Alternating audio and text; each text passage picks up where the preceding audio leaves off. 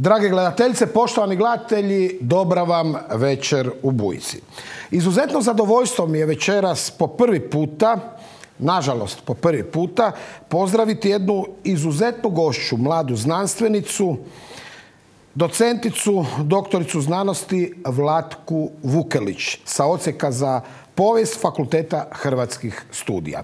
E, gospođo Vukelić, dobro večer, dobrodošli u Bujicu. Dobro večer i hvala na pozivu. E, doktorica Vukelić je specijalizirana za razne povijesne etape, ali ono što sigurno e, ponajbolje zna od među onima, ajde reći ću, koji su sa filozofskog fakulteta pa drže tribine po Zagrebu ovih dana, zna što se zaista dogodilo u Brezovici 22. lipnja.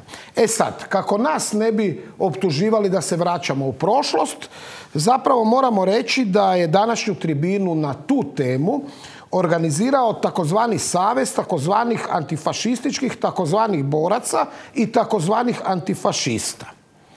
E, gošća, i to glavna, je bila zastupnica Možemo i trbuhozborka Tomislava Tomaševića i radikalno ljevih platformaša, kontroverzna Sandra Benčić. Ona je naime tijekom predizborne kampanje, pored ostalih i doktora Hasanbegovića, javno optuživala da je domovinski pokret, kao i neke druge političke opcije, taj koji se bavi prošlošću.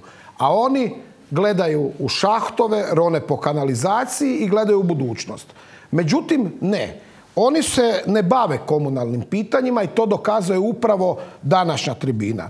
Za sve one koji su bili slijepi i pogreškom frustrirani vladavinom Milana Bandića i njegovih ljudi glasovali za Možemo, a ima i takvih, danas će se uvjeriti kakva je zapravo to ekipa i tko stoji iza njih. Naime, gospođa je tribinu održala u društvu s Ivom Golštenom i Hrvojem Klasićem.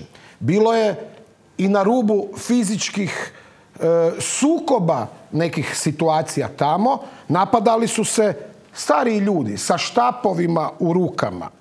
E, mnogo toga bih još mogao reći, ali prije uvodnog priloga reći ću samo da se ovako nešto dogodila u, dogodilo u kontrasituaciji, o tome bi već gledali vijesti u dnevnicima nekih drugih televizija.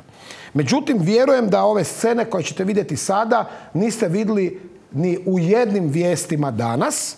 Rekao sam već da je situacija obrnuta, bilo bi posve drugčije, ja vjerojatno ne bi trebao raditi danas emisiju. E, zbog toga postoji bujica. Pogledajte sad e, kaos koji se danas dogodio na tribini takozvanih antifašista, gdje je Ivo Golštajn uredno pozvanom saborskom zastupniku Anti Prkačinu zabranio govoriti.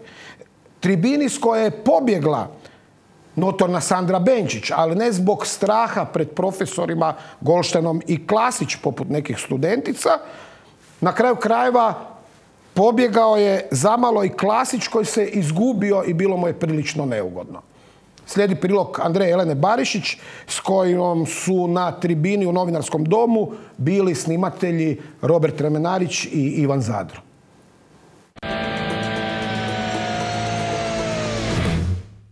Mi se borimo u 2021. sa problemima koje građani imaju danas, a vi ste u 45. sa problemima i metodama i metodama koje više nikome nisu relevantne ni zanimljive. Trebalo je točno dva tjedna da Tomaševićeva trbuhozborka, drugarica Sandra Benčić, pokaže svoje pravo lice. Iako je zastupnicima domovinskog pokreta tijekom kampanje zamjerala da žive u 40. godinama prošlog stoljeća, sada se pokazalo da je upravo ona ta koja inzistira na nametanju teških povijesnih tema, i to na prilično netolerantan način. Zajedno s notornim Ivom Goldštenom i kontroverznim Hrvojem Klasićem, profesorima čiji su ugled ozbiljno poljuljale navodne prijave studentica s filozofskog fakulteta, saborska zastupnica Možemo nastupila je danas na tribini Saveza antifašističkih boraca. I, gle čuda, tamo se nije govorilo o komunalnim temama ili ženskim pravima, već o partizanima i ustašama. Um, svoje političko djelovanje kao i političko djelovanje naše stranke ne e, pozicioniramo negdje u prošlost. U nedostatku ideja za rješavanje velikih nasljeđenih zagrebačkih problema, jedna od ključnih drugarica Tomaševićeve platforme skrenula je na dobri stari ideološki kolosijek. Bavljenje onim što je antifašizam danas je isto tako i u budućnosti je bitno. Iako su u predizbornoj kampanji izbjegavali pitanja o povratku Titova imena, Čini se kako će Tomaševićevi platformaši ipak udovoljiti zahtjevima svojih simpatizera da se ime zloglasno komunističkog diktatora vrati u Zagreb. Sad znamo da nemamo ulicu 8. maja, e, dan e, oslobođenja Zagreba, e, nemamo više trga maršala Tita. Evo, kako vi gledate na tu reviziju i da li se tu išta može napraviti pa da se i, i vrate imena nekih, nekih ulica i nekih e, ustanova e, od ljudi koji su to apsolutno zaslužili. Što se tiče ovog pitanja, mi smo rekli dakle da ono što ćemo poštovati je i što ćemo uvijek konzultirati jesu sami građani i kroz vijeća gradskih četvrti i kroz mjesne odbore. Simboli jesu važni, ja neću reći da oni nisu važni. Isto tako vi znate da mi i kao građani, i kao građani, ali i kao politička stranka svake godine i obilježavamo oslobođenje Zagreba, tako da ja mislim da tu, kako da kažem, da se ne moramo na tom polju ono posebno dokazivati. I dok je Benčićka prije samo mjesec dana javno prozivala doktora Hasanbegovića zbog nametanja svjetonazorskih tema u kampanji, danas je i sama držala štangu dvojici profesora koji su ga napali upravo po ideološkoj špranci. Meni je e, žao što se kolega povjesničar e, Hasanbegović nije e, malo dakle, raspitao, ja bi mu pokazao dokumente, rekao jednom prilikom da će on se odreći svog doktorata ukoliko mu neko dokaže da je postojao partizanski odred. Dakle, mi te dokumente imamo, konkretno kada su bili u šumi Brezovici, na inicijativu e, e, sisačkog logornika Fageta koji odlazi Slavku Kvaterniku koji onda naređuje Anti Moškovu da organiziraju nekoliko satnija, šest aviona, odnosno zrakoplova, nekoliko konjanika koji onda okružuju Brezovicu i napadaju. Spomenuti povjesničar je rekao da su u stvari sisački komunisti otišli na ladanje ne znam zašto, dakle, ako nekoga ko odlazi na odmor, na ladenje, trebate poslati tri satnije i, i, i zrakoplovstvo, ali, dakle, doista je postojao. Dakle, odred je doista postojao. Tomašević je u kampanji govorio o budućnosti. Benčićka je napominjala da se možemo obraća mlađim generacijama. No danas je potpaljivala strasti publici, čiji je prosje godina bliži Manoliću nego zagrebačkim maturantima. Mi smo vidjeli u svakoj političkoj kampanji do sad da tome nije tako a da skup Antifa u samom središtu Zagreba ne prođe bez incidenata, pobrinuli su se upravo domaćini. 2019. pod visokim državnim pokroviteljstvom e, u jesen, dakle prije godinu i pol dana, dvije skoro, je bila velika komemoracija navodnim žrtvama komunističkih zločina u Gračanima. Pretpostavljam da se dobro sjećate. Neću i govoriti o imenima ljudi koji su tamo bili, to nisu bile komunističke komunistički ili najvećim dijelom nije nikakva komunistička osveta. Kada se dakle, spominjalo o, Alojzije Stepinca, oko toga kako je u onom jednom pismu gdje piše Artukoviću rekao da se treba prema nearijevcima, dakle misleći na židove, ponašati tako i tako. Ja sam rekao, ne pogrešno, dakle zašto, dakle neka se zalaže, ali zašto koristi rasnu terminologiju? I onda smo rekli, ali to je u duhu vremena, tada je to tako bilo normalno. Ali kako nije postalo normalno da nakon 45. govori drugovi drugarice, ako je već to normalno i ako je to dio terminologije? Za te ljude koji su jednim velikim dijelom okrvavili ruke, ja nemam nikakvog razumijevanja. Niti ikakvog žaljenja. I to je ono što mi moramo e, ne samo reći, nego i afirmirati u javnosti. Nažalost, to objektivno nije moguće. Ali to je Blajburg. Iako je na tribinu došao u ime domovinskog pokreta, čiji je parlamentarni klub uredno primio pozivnicu, generalu Anti Prkačinu u jednom su trenutku zabranili govoriti. Dakle, ja, govorim činjenice, ja govorim činjenice, provjerite ih. Nakon što je general Prkačin zadržao akademsku razinu, a profesor Goldstein nastavio s uličarskom, Uslijedilo je odmiravanje pogleda, kao pred kakav boksački meč. Meni je normalna reakcija gospodina Golštajna, čovjeka koji u uvodnom izlaganju govori 10 minuta, jer nema argumente i nije pripremljen, a u odgovoru na pitanje troši 20 minuta, to upućuje na... Jedan bezočni amater, razumijete, vi ste amater, nemate pojma. Ja, ja, se, ja, ja, ja se još uvijek vrlo pristojno, ja se još uvijek ponašam vrlo pristojno. I onda je krenulo. Nas! Zašto nemate govoriti? Dosta je govoriti. Zato što govorim argumentima i činjenicama, govorim argumentima i činjenicama, on je govorio fraze i parole. To je tako. Sandra Benčić pobjegla je s tribine glavom bez obzira. Dosta! Gospodine Prkači, za, zaustavite vaše... Ovako, gospodin Pelkačin, gospodine Pelker, Nakon uspostave, pet dana nakon uspostave NDH uvedeni su ras... Profesor dr. Ivo Goldštajn u potpunosti je izgubio živce. Urlao je, psovao, vikao i na kraju zamalo fizički napao čovjeka koji bi mu po godinama mogao biti otac.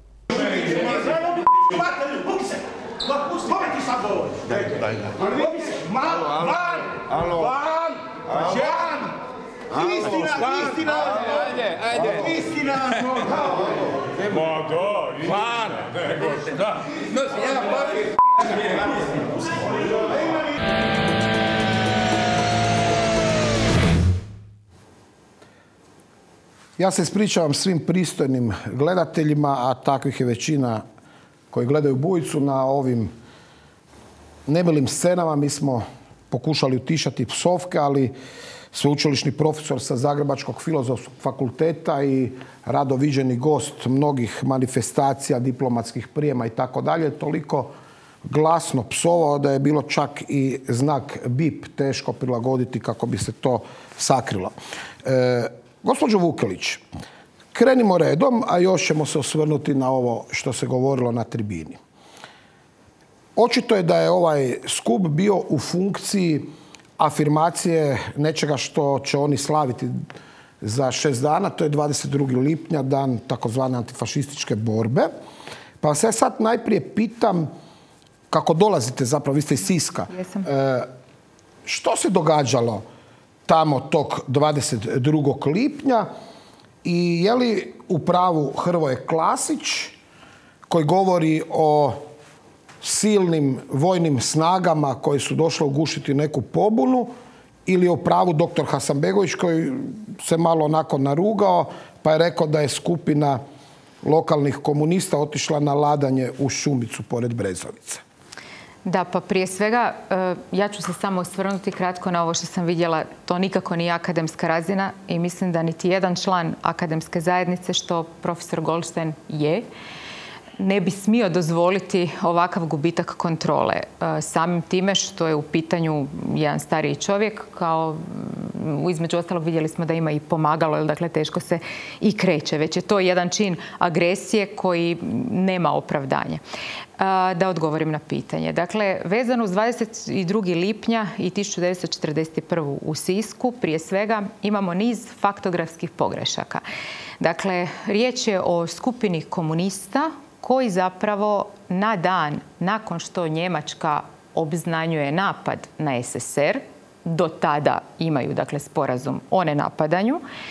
E, Dakle, nakon tog 22. lipnja e, komunisti zapravo ne znaju što dalje raditi jer nemaju jasne upute od svojih e, komunističkih nalogodavaca, dakle od Kominterne, jer s njima se ne upravlja iz nekog centra u smislu možda ljudi krivo percipiraju pa misle da je Beograd bio taj koji je davao naloge komunistima u Hrvatskoj. Ne, to je bila Moskva. Jel? Dakle, ne imavši dovoljno kvalitetne informacije o tome što činiti, oni zapravo bježe iz Siska. Dakle, bježe iz jedne urbane sredine u kojoj su do tada participirali kao normalni, obični građani. Sjetimo se da je NDH uspostavljena ipak 10. travnja, dakle puna dva mjeseca e, komunisti, sisački komunisti ne traže utočište, ne stvaraju otpor samoj ideji NDH, već dakle cirkuliraju po gradu najnormalnije i tek po e, činjenici da je Njemačka napala SSR, oni se povlače e, u u biti vrbike u okolici Siska. Nema govora o tome da su oni uopće išli prema šumi Brezovici. Oni su se zapravo povukli prema Žabnu, dakle to je jedno selo prema Zagrebu, e, jer je tamo domaće stanovništvo e, bilo ajmo to tako reći, bogatije, pa su znali da će se moći opskrbiti hranom i dakle tim nužnim potrepštinama. Međutim, njihova odluka nije bila da oni odu u šumu kako bi formirali neki partizanski odred ili bilo kakvu vojnu formaciju koja je trebala pružiti otpor e, domobranima, ustašama ili bilo kakvoj strukturi NDH. Dakle, oni tamo odlaze kako bi u biti dobili kvalitetnu informaciju iz Moskve što činiti dalje. Dakle, nema govora o vojnoj formaciji. Također dokumenti govore upravo o tome kako se skrivaju po vrbicima, kako im domaći ljudi po skrivečki nose neku hranu. Ili im kradu kokoši. Ili im kradu kokoši i zapravo nakon mjesec dana što su se skrivali Dakle, ne vojno uvježbavali i radili nekakve taktičke vježbe pripremne, jel? nego što su se skrivali. Dakle, nakon mjesec dana kad im lokalno stanovništvo vrlo jasnu poruku daje u smislu da ih više neće hraniti, tolerirati, jel? zašto bi se uopće brinuli o njima, tko su ti ljudi, oni dakle se transferiraju na drugi kraj to je zapravo granični kraj, e, ali još uvijek općina Sisak, jel, prema Brezovici, međutim ni tada još uvijek nema naznake o bilo kakvoj vojnoj formaciji. Vojna formacija dolazi u pitanje krajem kolova za početkom rujna, u biti kada e, dolaze četničke postrojbe sa Banovine i zapovjednik Vasilj Gačeša, e, gdje vrlo brzo dolazi do sukoba zapravo među njima i e, gdje je vrlo jasno bila iznesena ideja da oni nemaju zajedničke političke ni vojne ciljeve, pa ni ta suradnja nije uspješna i tek nakon toga dolazi do e, uspostave nekakve vojne formacije koja će se onda baviti nekim diverzantskim akcijama gdje će uglavnom e, imati napade ili na željezničku prugu, koja je bila naravno iznimno važna u komunikacijskom smislu, ili će čak napadati lokalne policajce. Dakle, vi znate da lokalni policajci u tom sustavu nisu bili pripadnici nikakvih političkih tijela, jel? Dakle, to su bili obični građani, čak što više vjerojatno preuzeti iz bivšeg e, sustava. Da su e, Ustaše e, i u biti lokalna vlast radili češljanje žabenske šume, E, jesu, jer su dobili dojavu od lokalnog stanovništva, ovo sad što ste spomenuli, o dakle, nekim ljudima koji tamo, kao što ste rekli, kradu kokoši, jel, dakle, utječu, odnosno unose nemir među lokalno stanovništvo. I oni jesu poslali e, policijske postrojbe u pročešljavanje terena. To je bila jedna još od okolnosti zašto su se zapravo prebacili na područje šume Brezovice. Ali isto tako, dakle, to je bila najnormalnija policijska akcija protiv, ajmo reći, neke e, terorističke skupine, ali to nije bila vojna organizacija i nije bio prvi partizan. Dakle, klasični je u pravu. Nije. E, ono što e, je zanimljivo, evo, ljudi sad imaju prilike vidjeti nekog ko zaista zna, koji ima referencu, koji do u detalje je radio na tome i pročitao i knjiga i napravio i radova.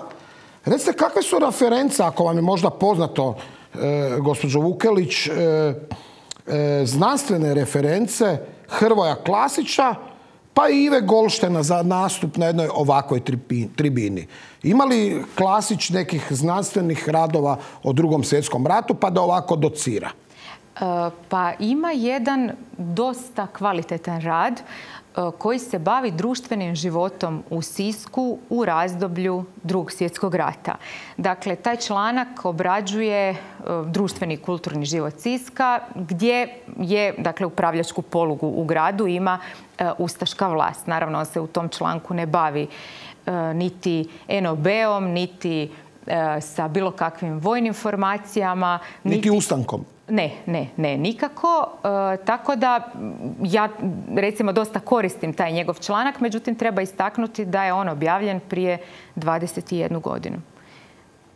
Dakle, To su njegove referencije. Goldstein je e, objavio dvije monografije o NOB-u, međutim one su publicističkog karaktera. Dakle, ono što moramo znati nisu sve knjige koje povjesničari objave, ujedno i znanstvene knjige. Jel? Pogotovo ukoliko su u nekakvom suautorstvu, na primjer gdje profesor Goldstein objavljuje knjige sa svojim ocem koji čak nema niti diplomu povijesti. E, to je sad ta ironija.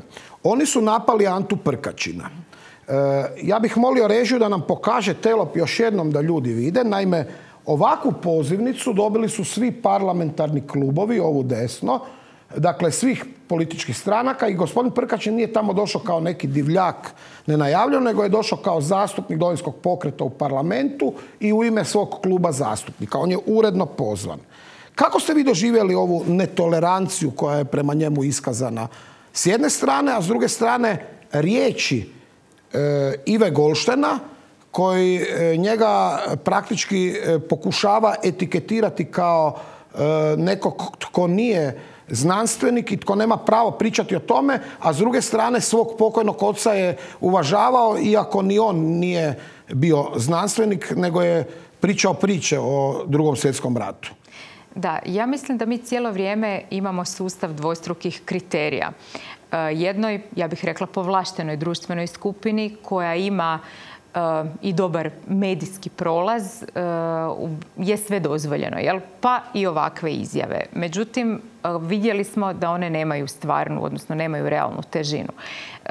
Ante Prkačin, ukoliko jest amater, ima pravo na istinu i ima pravo na postavljanje pitanja i iznošenje stavova. Gospodin Goldstein kao sveučilišni profesor trebao bi znati na koji način približiti temu i argumentirano je objasniti što očito svih ovih godina zapravo nije uspio. Ja cijenim njegov, da tako kažem, obiteljski trud oko popularizacije određenih tema. Međutim, ono što možemo vidjeti kao suvremene tendencije u hrvatskoj historiografiji, e, sve te teme, iako su nametnute kao dogmatske, e, zapravo polako počinju pronositi luč istine, odnosno luč svjetlosti, odnosno realnosti. Idemo sad vidjeti, dragi gledatelji, e, kako se zapravo pristojno za riječ javio zastupnik Prkačin, koji je tamo uredno pozvan i nakon toga intervencijom Ive Golštena izgubio pravo govora.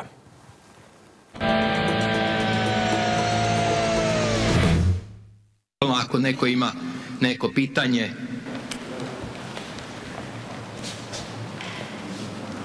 kratko, ja i e, ovaj, ne morate masku, samo e, vas molim da uvažavate dignitet skupa i objetnice koje, koju ovaj, ovdje komemorira. Samo recite, recite. Znači, Ante, ovo je za fotu da Pozdravljam sve skupa, pozdravljam organizatore, bivšeg predsjednika i tako dalje. Dakle, prvo ćete, gospodine Klasiću, potražiti dokument gdje je Josip Broz Tito 19.10. kad postaje generalnim sekretarom Centralnog komiteta E, Jugoslavije, ne 37. i 38. nego tek tada, dakle, gdje e, govori jedan hvalospjev, jednu odu sreći bratske zajednice od dvije stotine milijuna ljudi, radi se o Poljacima, Njemcima i građanima Sovjetskog saveza, odnosno govori odu okupaciji i podjeli Poljske. Dalje, 27.7. u Srbu koji ste spomenuli, vi njega morate analizirati da biste zaštitili hrvatske antifašiste. Dakle, Hrvati su zaista imali antifašiste. Ja sam ih čak imenovao. Ja vas molim da nijedna više tribina ne prođe, a da ne objasnite narodu sudbinu hrvatskog antifašista Marka Oreškovića koji odlazi na prostore gdje počinje rat. 27.7. u Srbu počinje rat Morate znati da je tada samo deset hrvatskih vojnika bilo, odnosno deset domobrana koji su čuvali nekakvu prugu koje je lokalno srpsko stanovništvo rastjeralo, pokolje nad hrvatskim narodom, ubojstvo tri katolička svećenika i tako dalje. 19.12.1941. godine na prostoru tromeđe Like, Dalmacije i Bosne ispaljen prvi hitac na talijanskog okupatora i to kad je 118 Hrvata, Dalmatinaca, Partizana došlo potaknuti domaće Srbe Dakle, ja, ja govorim činjenice, ja govorim činjenice, provjerite ih. Da, ajde, ajde, pa Pa ja, meni je normalna reakcija gospodina Goštajna, čovjeka koji u uvodnom izlaganju govori 10 minuta, jer nema argumente i nije pripremljen, a u odgovoru na pitanje troši 20 minuta, to upućuje na... Jedan bezočni amater, razumijete, vi ste amater, nemate pojma. Ja, ja, se, ja, ja, ja se još uvijek vrlo pristojno, ja se još uvijek ponašam vrlo pristojno. Nas! Znači, nemate govoriti! Dosta je govoriti. Zato što govorim argumentima i činjenicama, govorim argumentima i činjenicama, on je govorio fraze i parole. To je tako. Mir! Dosta!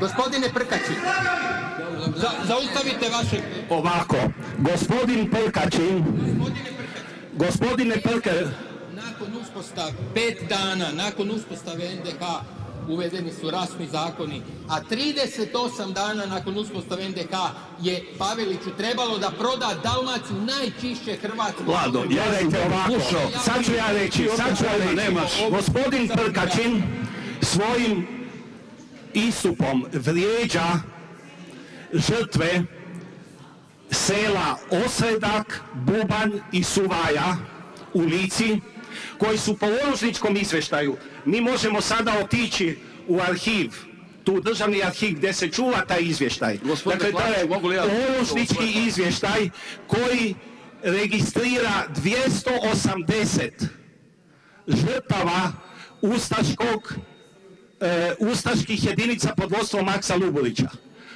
Među njima, ne znam, više od Ivo, 40 nema- djece ispod argumenta. 14 godina starosti. Prema tome to govoriti da su da je to bio četnički ustanak ni iz čega je vređanje ti- tih žena i djece koji su tamo ubijeni. I to je to. I zato to ne dozvoljavam. Jer je to vrijeđanje A nevine nemate mi djece. šta, gospodine Golšar, ne dozvoljavati, morate prvo to proučiti. Hvala sudjelovanju i...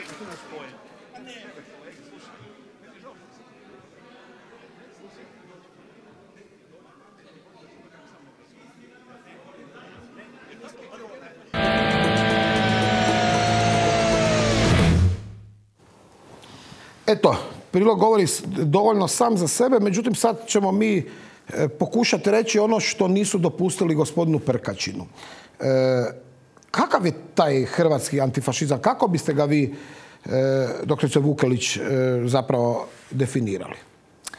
Da, pa prije svega e, mislim da treba reći da je taj pojam općenito, dakle kao opća imenica, antifašizam je, da tako kažem, jedan raritet komunističkih i postkomunističkih zemalja. Na primjer, u SAD-u se on baš ne rabi, jel? Dakle, Amerikanci neće reći za sebe da su oni antifašisti, jel? Isto tako, to je pojam koji se neće rabiti, na primjer, u Velikoj Britaniji, a znamo koliki obol su oni dali da dođe do sloma e, Trećeg rajha. E, Dakle, sam pojam je na neki način ustoličen e, 1935. na sedmom kongresu Kominterne. Dakle, i opet je SSR taj koji upravlja svime.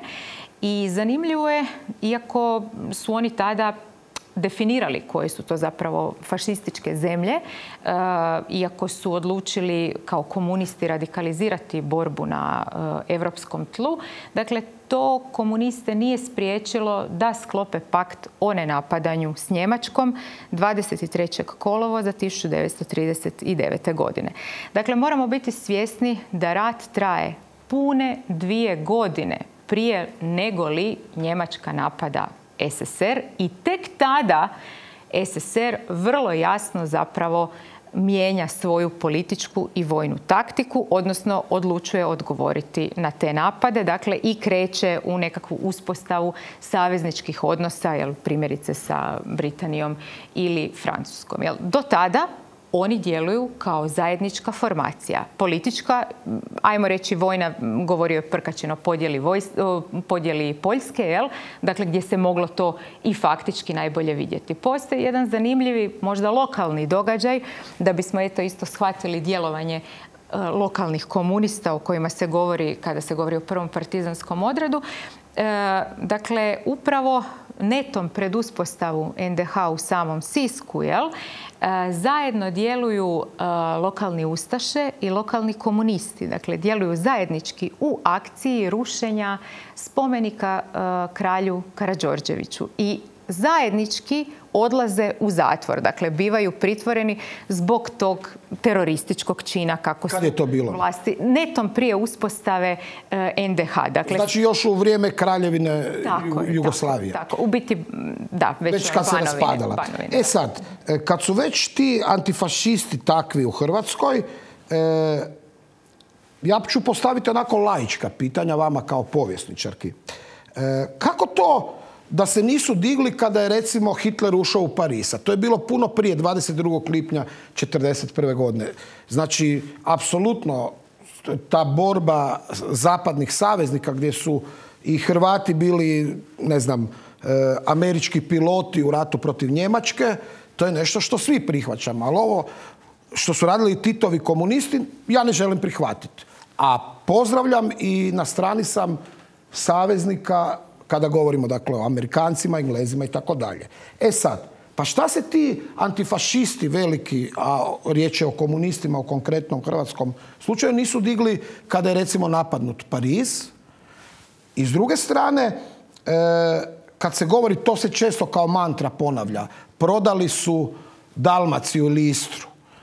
Kada je Istra pripojena Italiji i zašto se antifašistički pokret u Italiji, e, pardon, u Istri nije pojavio, zašto komunisti se zapravo nisu kao antifašisti digli protiv Italije e, kada je ona kada je njihova čizma fašistička stala na Istru. Što je sa Zadrom? Ko je prodao Zadru Italiji? Ante Pavelić ili netko drugi? Dakle, službeni predstavnici u biti kraljevine Jugoslavije 1920. godine, odnosno nama su tu rapalski ugovori ono što je najvažnije, jel, s obzirom da su već londonskim ugovorima se pokazale naznake kako će teći pregovori vezano uz kraj Prvog svjetskog rata i mislim da je u hrvatskoj historiografiji, općenito zapravo u jugoslavenskoj historiografiji, ako ćemo šire uzimati pojmovno, važno je važna je prva Jugoslavija, jel? odnosno država SHS pa kraljevina SHS pa sve kasnije izvedenice, kolokvijalno to nazivamo prvom Jugoslavijom. Jel? Dakle, e, upravo u tom razdoblju počinju zapravo svi problemi e, suvremene Hrvatske države gdje smo vidjeli da su svoj krvavi rasplet imali 1991. Upravo u tom razdoblju, dakle 1920. dolazi do prodaje Istre, otoka i Zadra, dakle tog središnjeg dalmatinskog dijela e, kraljevini Italiji. Jel? Znači, ko je to prodao, da ću gledatelji jasno i glasno? E, dakle, vlada e, kraljevine Jugoslavije i obitelj Karadžorđević. Srbi? Pa da, da. Ok, srpska dinastija. Tako je.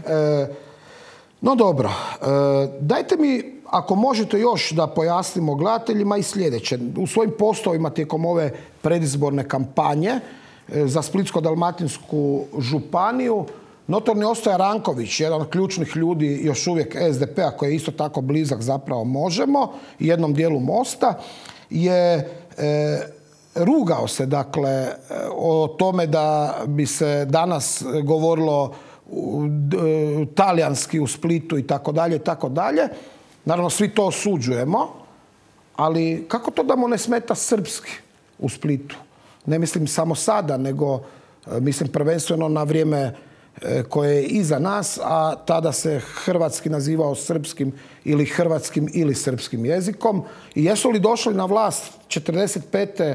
pa i u Zagrebu i u Splitu i drugdje hrvatske snage ili snage koje su bile protiv Hrvatske. Kako biste vi to definirali, naročito u kontekstu najnovije inicijative za koju smo danas saznali, žele ponovo, kako oni kažu, ulicu 8. maja u Zagrebu.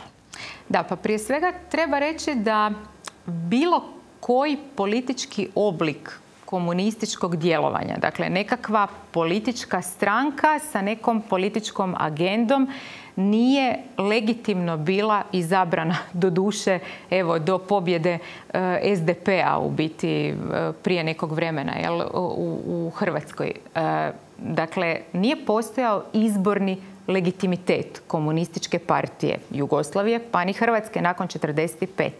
Zapravo zadnja stranka koja je imala izborni legitimitet prije drugog svjetskog rata, koja ga je baštinila, bio je HSS. Međutim, e, slijedom okolnosti ali velikoga rata nije mogla participirati i nisu htjeli participirati u vlasti. Međutim, hrvatski intelektualci, e, ostaci hrvatske politike koji su zahtijevali demokratski sustav, zahtijevali su i participiranje politike HSS-a u novoj državnoj tvorevini nakon drugog svjetskog rata. E, bili su svjesni situacije da je potpisana kapitulacija, odnosno da je rat izgubljen. Jel? Međutim, nisu pristajali na to da se vlast preda u ruke komunističkoj partiji. Ponavljam, ona nikada nije imala izborni legitimitet. Dakle, riječ je bila o marginalnoj skupini političara, ukoliko govorimo još o razdoblju 1920. prema dakle, zbivanjima iz drugog svjetskog rata, ali oni nisu bili Dakle, ni u kakvom nisu imali politički program, nisu imali društveno kulturno djelovanje. Dakle, nisu djelovali u gradovima, e, niti u selima, na kraju krajeva, kao nekakva ozbiljna politička stranka.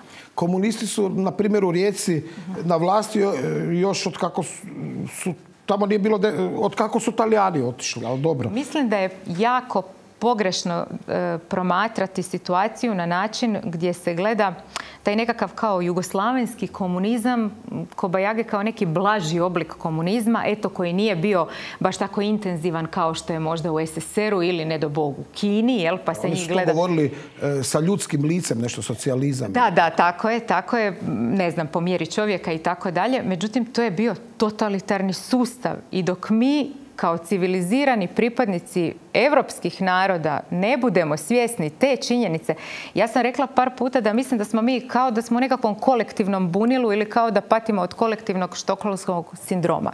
Ja dan danas to mislim. E, apropo ovih žrtava, e, vidimo da je Golštajn e, u, prekidajući Prkačina govorio o nekim žrtvama.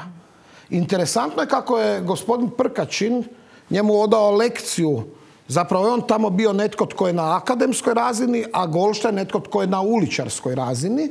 I sad e, vidjeli smo u uvodnom prilogu nešto što je strašno i nitko nije smio zagalamiti na Golštena radi toga.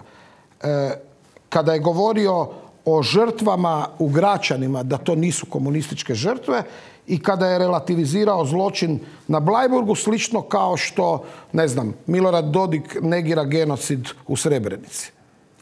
Da, pa ja bih rekla da to, ako ništa, i opet ću ponoviti, nije e, civilizacijska razina koja je uopće uporabna u 21. stoljeću.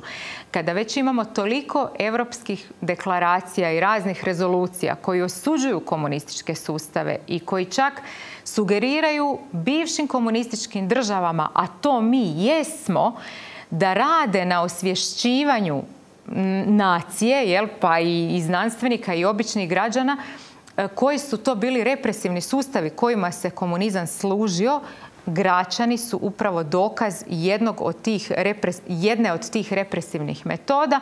Dakle, e, riječ je bila o masovnom pogubljenju najvećim dijelom e, vojnih, e, vojnih stradalnika, međutim, naravno i civila na tome području. Ono što... Ranjenika, kao na ovčari zapravo. Tako je, tako je, ranjenika to je donekle, to je donekle bila čak i specijalnost i to, to se nije događalo samo u Zagrebu. Recimo imamo istu situaciju i u Sisku.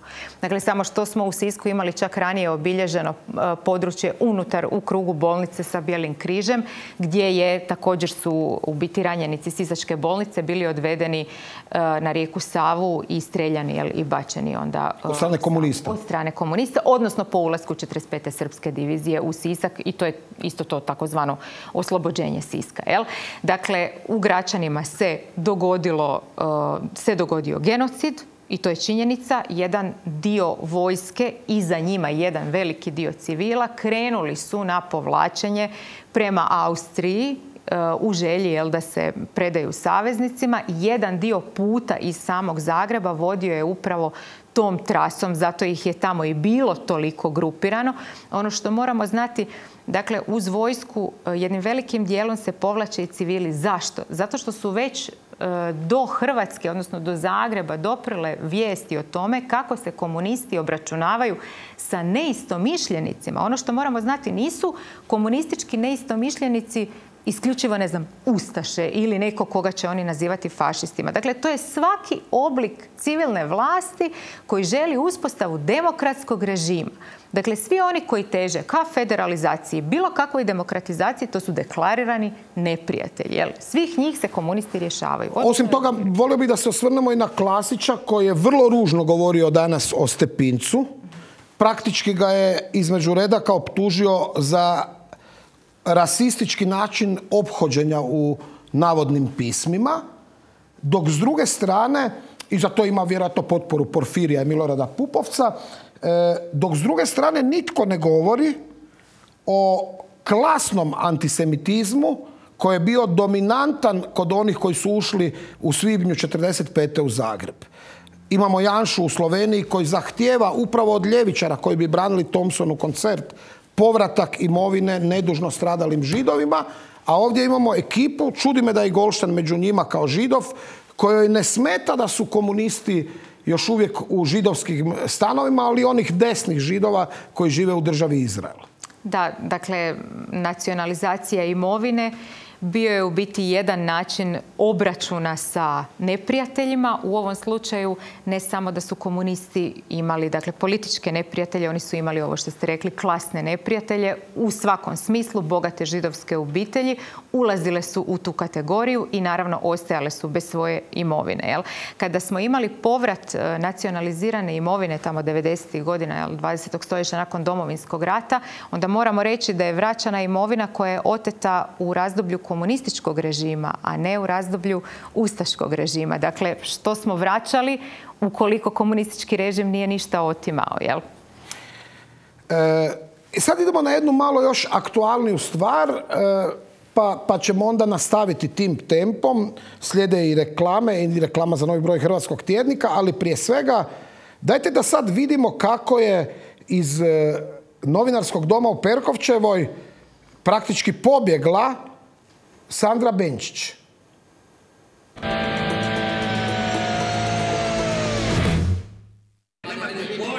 Ja, ja, se, ja, ja, ja se još uvijek vrlo pristojno, ja se još uvijek ponašam vrlo pristojno.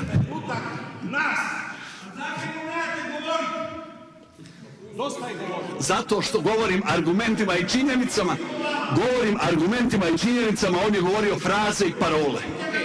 To je tako. Mir! Dosta! Gospodine Prkači, za, zaustavite vaše... Ovako, gospodin Prkačin, gospodine Prkačin, Nakon uspostave, pet dana nakon uspostave NDH uvedeni su rasni zakoni, a 38 dana nakon uspostave NDH je Paveliću trebalo da proda Dalmaciju. mi možemo sada otići u arhiv, tu državni arhiv gdje se čuva taj izvještaj. Gospodine dakle, to je mogu li ja- olušnički izvještaj i to je to. I zato to ne dozvoljava. Jer je to vrijeđanje A nevine nemate mi šta, djece. gospodine Golšar, ne dozvoljavati, morate prvo to proučiti. sudjelovanju i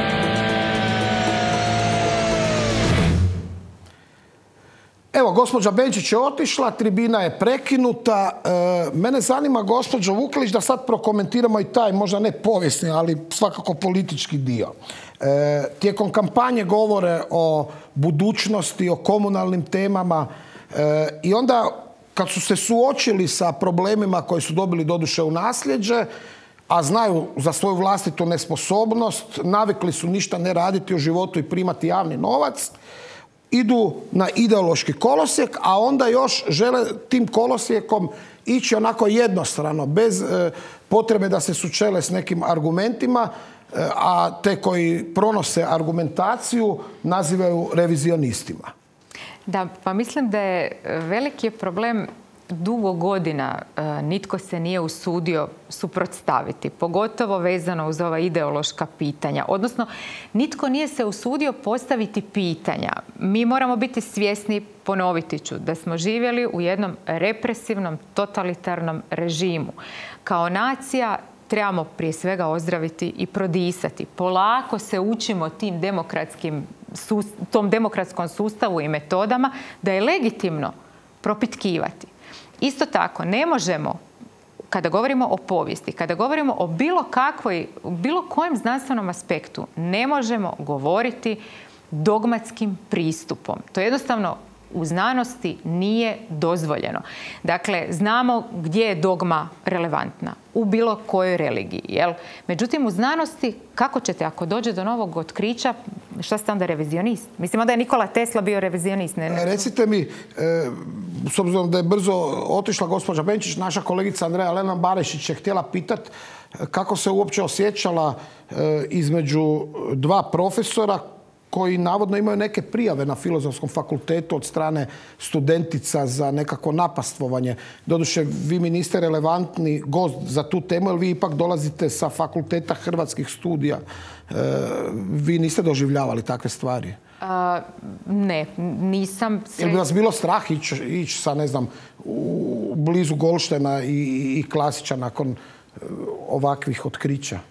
Narod HR je nešto pisao o tome. Da, pa ne, mislim, ne znam. Ja, ja evo gospodina Klasića poznajem osobno jer on je moj sugrađanin. Jel? Dakle, što više njegova baka je radila kod moje prabake kao sluškinja. tako da se mi poznajemo. Jel? Međutim, ovo jesu zaista šokantne informacije. Ja mogu samo reći da, bih, da se nadam da nisu istinite. Ono što znam da je sve učilište formiralo neka tijela koji bi trebali utvrditi istine u tim postupcima. Međutim, isto tako treba reći da je kompletna ta e, histerija oko seksualnog napastovanja na fakultetima e, bila iznesena kao jedan projekt koji je trebao diskreditirati Zagrebačko sveučilište. Činjenica je da je e, svoj nekakav početak, e, a onda bih rekla zapravo i epilog, dobila upravo na Filozofskom fakultetu. Dakle, tu se stvar pokrenula i sad nisu ti akteri koji su bili optuženi za seksualno napastovanje na jedan put, oni nisu bili krivci, vidjet ćete na kraju će čak ispasti da su oni vjerojatno i žrtve, nego je krivac bio Damir Boras. Da, da, jasno, to je sad jedna druga tema. E, meni je pozadina poprilično jasna. Međutim, zaista ne znam, dragi gledatelji, je li gospođa ili drugarica, to njoj nije uvreda, e, Benčić, pobjegla od Klasića i Golštena ili od Prkačina. S Prkačinom se fino razgovarala, ali s obzirom na ovo trebalo bi to ipak dobro razmisliti, posebno kada nakon reklama vidite kakav je nasilnik taj Golšten. Idemo na reklame.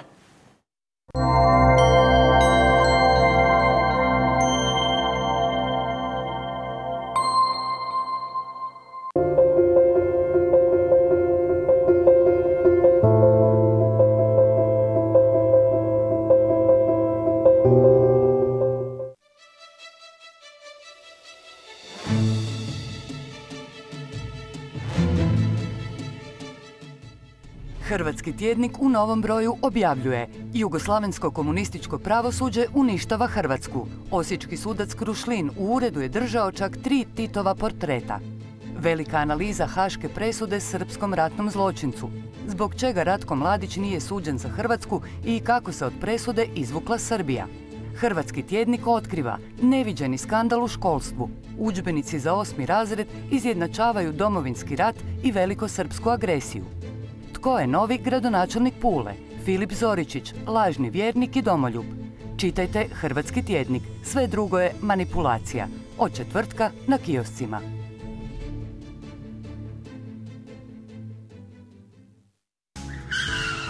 Trajno snižene cijene iz Herbal Terapija. Masažni gel od konoplje. Masažni gel Forte. Biljni losion. Šampon za kosu konoplja šampon za kosu, konoplja i kopriva, krema za ruke, konopljina mast, CBD kapi, Potražite nas u ljekarnama i trgovinama te na šopu www.herbal-therapy.hr ili nas nazovite. Vaš Herbal Therapy. Tehnopaneli namještaj. Najbolji put do modernog, funkcionalnog i lijepog ureda. Ured po mjeri i vašoj želji. Stručna usluga dostave i montaže na vašu adresu. Usluga savjetovanja i projektiranja. Uredski namještaj za ozbiljnu tvrtku. Opremamo čitavu Hrvatsku. Posjetite nas na adresi Heinzlova 66 u Zagrebu. Tehnopaneli namještaj. Vaš stalni partner.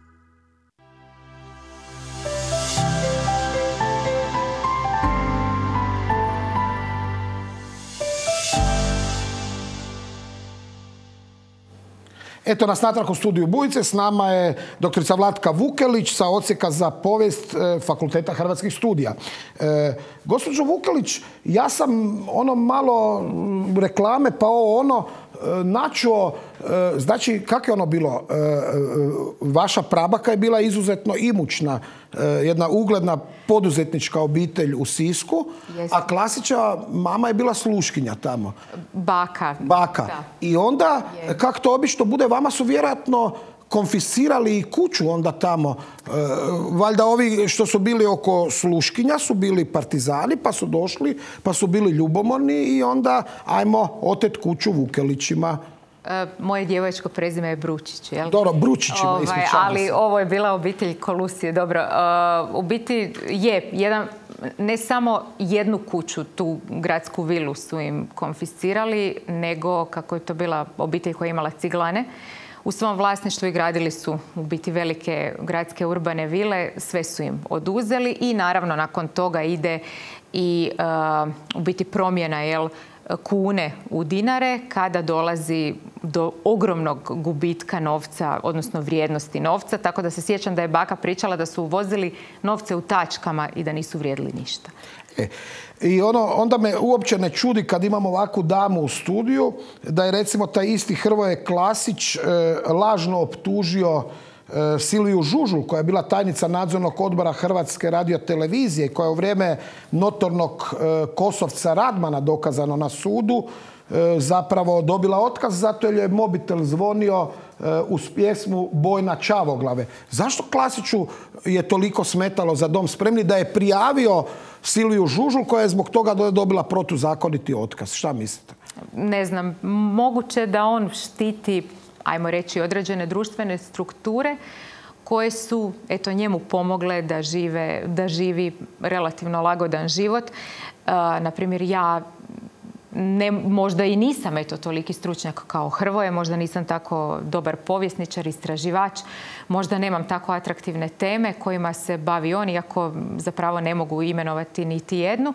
Međutim, ja nemam pristup HTV-u, ne mogu napraviti dokumentarac na HTV-u, ne mogu biti komentator e, svih mogućih dijapazona emisija od dnevno političkih do povijesnih, do ne znam, kulturnih i društvenih e, to za sada još uvijek ipak ima samo ciljana i odabrana struktura u hrvatskom društvu. Ja se nadam da ćemo te tendencije mijenjati. Što se mene tiče, bolje da vi komentirate na Z1. E, Doktorice Vukelić, još mi prokomentirajte jednu aktualnu političku stvar, aktualno politički istup kad govore da Plenković nije s Možemo. Evo danas na N1 televiziji, ovo je u srpskom vlasništvu, e, e, nastupa upravo taj klasić, gle čuda. I onda kaže između ostalog da je e, najveći problem Andreja Plenkovića što je na čelu HDZ-a koji nije onakva stranka kakvom bi je on htio napraviti. Kaže Plenkovićeva najveća mana je što ne pripada stranci kojoj je na čelu. E, a većina biračkog tijela kaže nije pristaša smjera kojim ide Plenković i onda još e, kaže Franjo Tuđman je najzaslužniji za osnivanje HDZ-a, ali za uspjeh HDZ-a je najzaslužniji Slobodan Milošević. Što kažete na ove bisere Hrvoja Klasića? Da, pa Hrvo je jedan dio izvukao iz konteksta, jel? E, ovdje kada govori da je za uspjeh HDZ-a najzaslužniji Slobodan Milošević govori o radikalizaciji u biti srpske politike unutar još uvijek jedinstvene Jugoslavije jel? i ta radikalizacija naravno onda dovodi i do raspada Jugoslavije, odnosno posredno i do e, samog domovinskog rata. Međutim, nije to isključivo i samo politika Slobodana Miloševića, već upravo teror koji se provodio nad hrvatskim narodom 45 godina, odnosno ukoliko pribrojimo tome i onih dvadesetak godina jel, od Prvog svjetskog rata, a represija i teror su se provodili i tada, što se vrlo vješto izbjegava reći kako u povijesnim udžbenicima, tako i u bilo kakvom javnom e, i historiografskom diskursu. Dakle, to je nešto što je dovelo jednu nacionalnu 90. godina isključivo e, identitetski vrlo jasno nacionalno obojanu strukturu na vlast. Kako je vrijeme odmicalo u današnjoj politici, e, mislim da HDZ jednim dijelom gubi svoju identitetsku odrednicu. E, na neki način se udaljava od ove nacionalne komponente i kao da više se priklanja toj nekakvoj, ajmo reći, srednjoj struji globalne europske politike. E sad mene tu u tom svemu mene najviše muči taj globalistički segment jer smatram da Hrvatska još nije zrela za njega. Zašto? E upravo zato što Sadra Benčić bježi sa ovakvih nekakvih skupova, umjesto da bude jasnih uvjerenja sa argumentima i činjenicama o tome što se događalo 1918. 1941. 45. 71. i tako dalje. Dakle, to bi trebali znati svi hrvatski javni djelatnici, političari, đaci i njihovi roditelji. I studenti. Naravno. E, a pogledajte kako uopće studenti mogu očekivati znanje koje bi trebali usisavati od ovakvih profesora. Slijedi zaista skandalozni prilog u kojem ćete vidjeti sveučilišnog profesora koji je vrijeđao, psovao i fizički nasrnuo na jednog starijeg Zagrebčana sa štapom. E, ispričavam se unapred gledateljicama i gledateljima na ružnim scenama i ružnim neakademskim riječima.